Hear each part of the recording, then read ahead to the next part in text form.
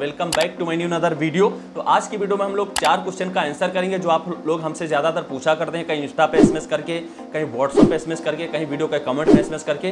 तो वो चारों क्वेश्चन का आंसर करेंगे। वो चारों क्वेश्चन आपसे ही रिलेटेड हैं, आप लोगों के काम से रिलेटेड हैं, और इसे आप लास्ट तक देखिएगा, आपका काफ़ी ज़्यादा फ़ायदा होगा इस वीडियो के माध्यम से।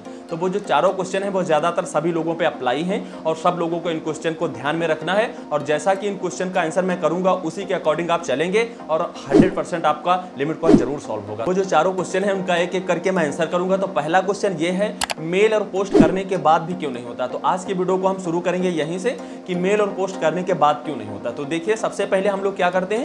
यूपी में जितने लोग रहते हैं, सबका रीजनल ऑफ़िस गोमती नगर में है थर्ड फ्लोर जो आप लिए समाज कल्याण करके सुना होगा, वहाँ बहुत सारे लोग आ भी रखे हैं। तो वहाँ पे क्या होता है? जब हम कहीं से भी डाटा यहाँ पे शेयर करते हैं पोस्ट के माध्यम से या मेल के माध्यम से तो सारा डाटा यहीं पे कलेक्ट किया जाता है। यहाँ पे सारे डॉक्यूमेंट्स चेक किए जाते हैं। चेक करने के बाद क्या होता है, यहाँ से बेंगलुरु ट्रांसफ़र किए जाते हैं। जब आपका सब कुछ सही यहाँ पाया जाता है, तब वो लोग बेंगलुरु ट्रांसफ़र करते हैं। जब हम लोग मेल और पोस्ट करते हैं तो ऐसा है नहीं कि एक दिन में दस या बीस ही मेल जाती हूँ। इतना मेल जाता होगा कि कोई गिनती ही नहीं इतना पोस्ट जाता होगा कि उनका भी कोई गिनती नहीं तो ऐसे क्या होता है, कई सारे लोगों का तो एक हिसाब से रखा रहता है। कई सारे लोगों का वेरिफिकेशन में लग जाता है। तो वेरिफिकेशन में क्या है? जैसे आपने बर्थ लगाया था बर्थ का कैंसिलेशन स्लिप दिए हैं। तो जिन लोगों ने बर्थ का कैंसिलेशन स्लिप दिया है, उनमें क्या है? देखिए, वो डाटा जाता है वहाँ पे, उसके बाद वो लोग कैंसिलेशन के लिए वेरिफिकेशन के लिए भेजते हैं। जैसे आपने ब्लॉक से कैंसिलेशन कराया है तो आपके ब्लॉक पे शेयर करते हैं ब्लॉक पे जो भी सेक्रेटरी या जिसने भी प्रमाणित किया है, वो अपना फिर से जब प्रमाणित करके वापस करते हैं, तब वो लोग सारी चीज़ें चेक करते हैं। अब यहाँ चेक करने के लिए देखिए, एक चीज़ हो तो चेक करके तुरंत कर दी जाए। यहाँ पे सेल्फ डिक्लेरेशन भी चेक करना है एच ऑर्डर भी चेक करना है बर्थ कैंसिलेशन स्लिप भी चेक करनी है। और आपने जब अपडेट कराया था तो जो बर्थ सर्टिफिकेट दिया था, उसमें कुछ लेटर इधर मिसमैच तो नहीं। कई सारी चीज़ों को ये लोग चेक करते हैं, उसके बाद ही आगे प्रोसेस करते हैं। तो ऐसा करके होता क्या है ज़्यादा तो लोगों का हमने देखा है, हमारे सब्सक्राइबर्स थे तो डेढ़ दो महीने सारा कुछ करके छोड़ दिए थे, और छोड़ने के बाद कुछ उनका रिप्लाई ही नहीं मिला तो सीधे वो डायरेक्ट विज़िट किए वहाँ पर तब उन लोगों ने उनको बताया कि जाइए, मैं अभी वेरीफाई नहीं कराया हूँ आपके ब्लॉक से, मैं ब्लॉक पे आपके भेज के वेरीफाई कराता हूँ, फिर आपका हो जाएगा। आप सोचो, दो महीने के बाद बंदा जाके वहाँ बता रहा है, तब वो वेरीफाई करते हैं। उसके बाद पता नहीं कब वो अपडेट करेंगे। तो ऐसे करके कई सारे लोगों का तो वहाँ पे पड़ा ही रहता है। तो हम ये चाहते हैं, अगर आपने लीगल प्रोसेस किया है, जैसा कि हम बताते रहते हैं हर एक वीडियो में कि मेल करना और पोस्ट ऑफ़िस से स्पीड पोस्ट के माध्यम से भेजना, ये सब करने के बाद दो ढाई महीने क्रास हो रहे हैं, कोई रिस्पॉन्स नहीं है। तो आप फिजिकली विज़िट करिए, उनको बताइए कि हम सारा कुछ किए हैं। आप हमारे वहाँ ब्लॉग पे वेरीफाई के लिए भेजे नहीं, और वेरिफिकेशन हमारा नहीं होगा तो हमारा आगे का काम कैसे चलेगा? तो उनको ये चीज़ बताओगे तो वो ऐसा करेंगे तो जल्दी हो जाएगा। इस वजह से जिन लोगों ने बेहतरीन प्रोसेस कर रखा है, वो वहाँ जाकर के सारा कुछ करवा सकते हैं। और एक दिन में कितनी सारी मेल और पोस्ट होती रहती हैं तो आप लोगों को पता है। और मेल और पोस्ट दोनों करोगे, तभी हो पाएगा, और सही प्रोसेस से करोगे, तभी हो पाएगा। यूट्यूबर से आप बर्थ कैंसिलेशन बनाते हैं, फिर भी नहीं हो पाएगा। कुछ भी गलत नहीं करना है second time date of birth सही करने में सारा कुछ बहुत ही बेहतरीन तरीके से देना है, क्योंकि यहाँ पे फिजिकली डॉक्यूमेंट्स जाते हैं, आप बर्थ भी फेक भेजेंगे, वो भी स्कैन करके लिंक चेक करेंगे, वो भी गलत हुआ तो पड़ा रहेगा, और आप कैंसिलेशन स्लिप किधर यूट्यूबर से या ऐसे वैसे करके इसी तरीके से फेक तरीके से बनाते हैं, वो भी नहीं हो पाएगा। एचडीएम ऑर्डर डिजिटल नहीं होगा तो भी नहीं हो पाएगा। बहुत सारी दिक्कतें इस वजह से प्रोसेस सही करोगे, मैं गारंटी के साथ कहता हूँ, होगा। हो रहा है सब लोगों का, मुझे पता है तो मैं आप लोगों को इस वजह से बता रहा हूँ। यहाँ पे ज़्यादातर लोगों का डेटा सही से नहीं जा रहा है, इस वजह से वहाँ पे बहुत रिज़ल्ट ज़ीरो मिल रहे हैं। तो ऐसा करके आप ये प्रोसेस कर सकते हैं। अब सेकेंड क्वेश्चन क्या है? हमारा रिजेक्ट क्यों हो जाता है? तो रिजेक्ट क्यों हो जाता है? इस पर भी बात कर लेते हैं। देखिए, जब भी आप अपडेट कराते हैं अपडेट कराने के बाद एक घंटे, दो घंटे, चार घंटे, दस घंटे, कभी ना कभी यह रिजेक्ट ज़रूर हो जाएगा। और जहाँ तक है ये एक घंटे में हो जाएगा या चौबीस घंटे के अंदर ही हो जाता है।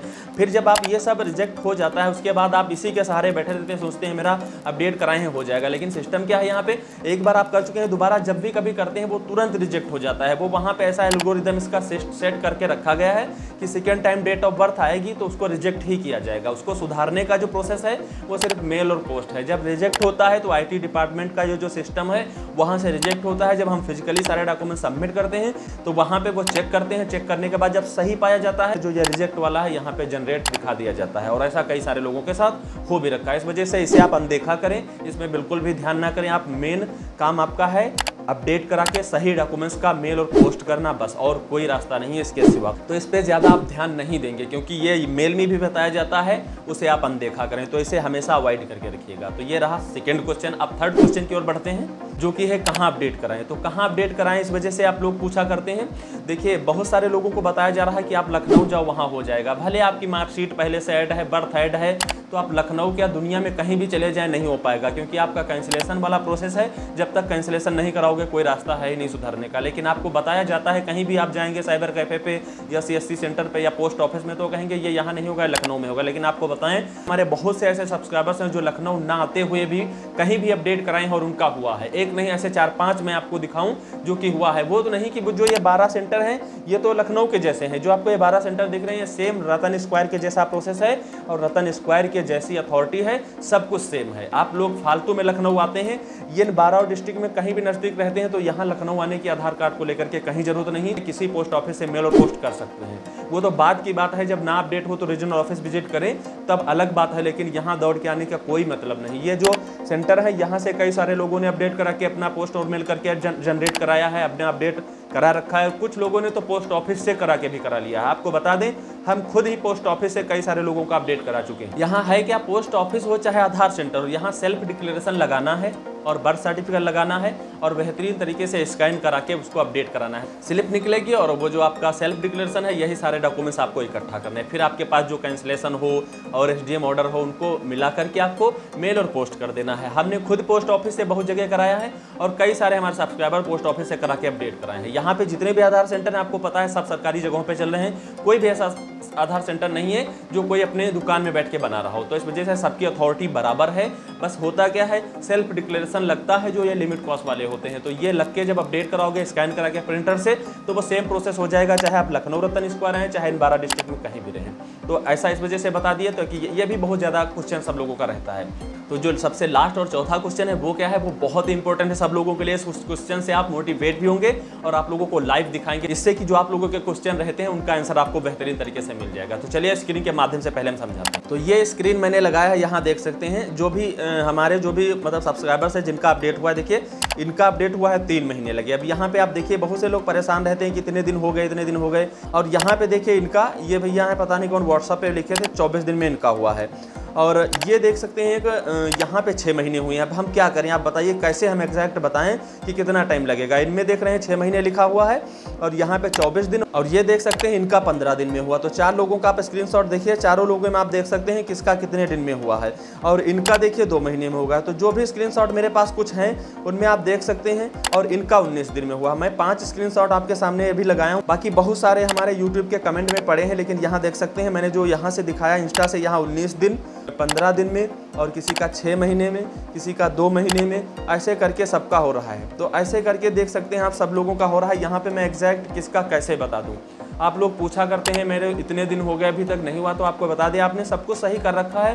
तो आपको वेट ही करना है, बाकी कुछ नहीं। किसी किसी का दिन 24 घंटे में भी हो जाता है।